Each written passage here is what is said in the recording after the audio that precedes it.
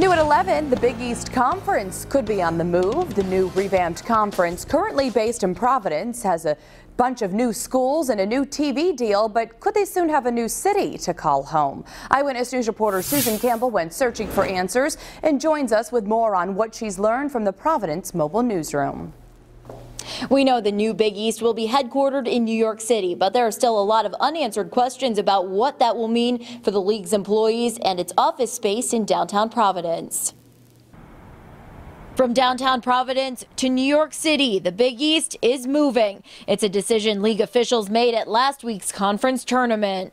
We all agreed New York's the easiest place for all of us to get in and out of, and that symbolically we needed to represent something new. Uh, I abstained from that vote. Though the conference's main office will be in New York City, we've learned there could be a satellite office to avoid the steep price tag that goes along with rent in Midtown Manhattan. I think some of the back uh, office stuff can stay someplace else.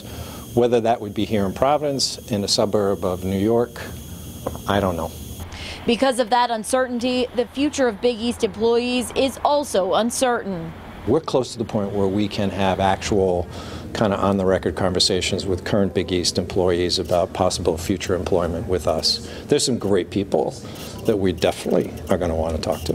And though Big East headquarters are moving, Jim Bennett, Providence's director of economic development, says the league's realignment is actually a good thing for the city.